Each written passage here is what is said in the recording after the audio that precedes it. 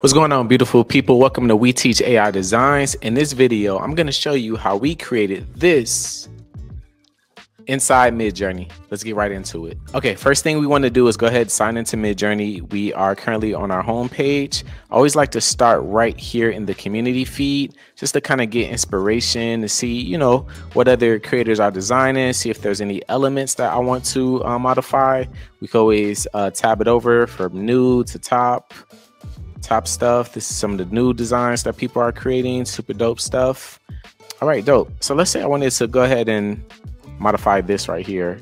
Uh, let's go ahead, click it. This is the image. It's like a sketch slash, uh, you know, just really just dope abstract uh, image. Um, so let's go ahead, hit copy here. I'm gonna copy, I'm gonna copy full command even though it's a square image, we're going to go ahead and copy the full command and we are going to head over to our Discord. Now, if you have an online memo pad or a notepad on your uh, desktop or sticky notes, it might be good to go ahead and use those uh, tools as well. But we're going to go ahead, click Imagine, gonna hit paste. And instead of an elderly bald African man, we're gonna say we're gonna say we want to do an elderly African woman with a stretched neck and a huge jade earrings who hunts with a magical machine gun as imagined by Alejandro. Not sure what that name is. We're gonna let that go. We're gonna delete that. All right, perfect. So we're gonna go right with we're gonna go we're gonna go with that huge. I'm gonna say huge red jade earrings. Um, and we're gonna go ahead and click enter and see see what see what comes up. Um, I want you guys to understand that sometimes when we create prompts and we create uh, different things that we want the Midjourney uh, uh, bot or uh, Midjourney um, application to, to to do. Sometimes it doesn't look great the first time around. You know, you can always use your variations to V1, V2, V3, V4 to make uh, new versions of it, or you can uh, re-roll the whole thing by hitting the uh, blue button right here on the side here.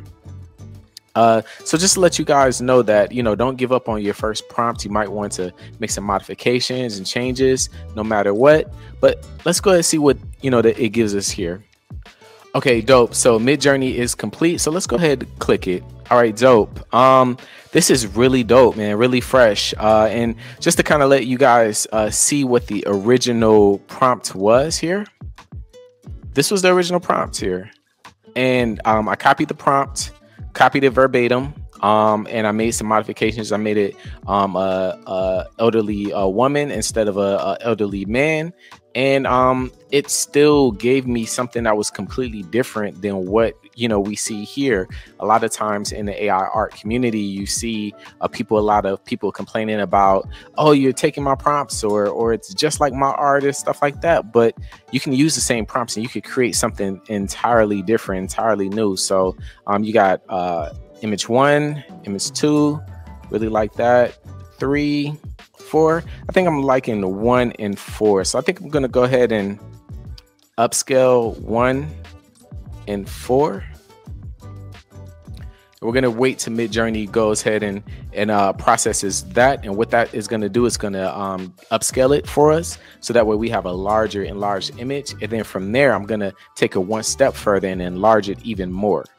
Okay, dope. So we are done, and we are processed. So we're gonna take a look at this. I think this is super dope the you know the, the little whatever this going on is throwing me off just a little bit. So I think I'm gonna, I'm gonna rock with this one right here. I'm gonna go rock with this little this image. is kind of like she's in the desert and it's like it's you know, but it's still dystopian. Usually dystopian images are very dark and dreary. This is bright um, and still kind of in a futuristic, Afrofuturistic vibe. So we're gonna go with that. We're gonna click open original just to enlarge it just uh, even much more. But I noticed where it's not as detailed, it's very kind of soft. So we want to go ahead and upscale it even more. Let's go ahead, right click, and we are going to save this image. We're going to save this right inside the downloads. And what I like to use I, is I use I like to use let's enhance.io for my images. Uh, the reason why I like to do it is because um, you know, you can upload multiple images at once.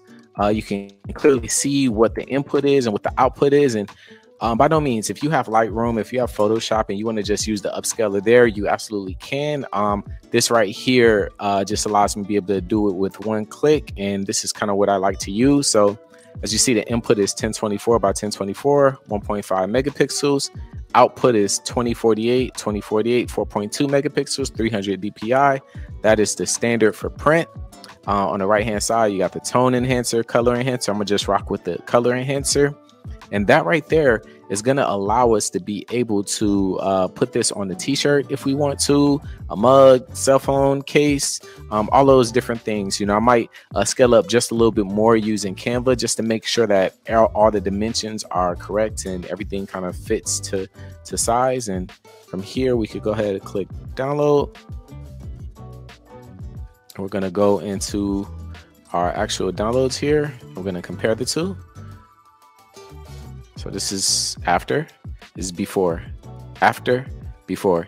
So I'm pretty sure you can see like the the, the colors are a little bit um are a little bit more popped up. The uh, clarity is that much more rich. Um, I really looks like I ain't doing unless I do that. I really like the uh the uh, output. Um, it is an extra cost to use uh, Let's Enhance.io, but again, you can also use any tool that you have at your disposal. All right, dope. So that was our tutorial on how to create this inside Midjourney. So make sure that you guys subscribe, like, comment, and whatever video you want me to create next, just you know, leave me a comment below. And uh, this channel is for you to learn, grow with AI art in Midjourney. So uh, let's make it happen. Let's let's grow together, y'all.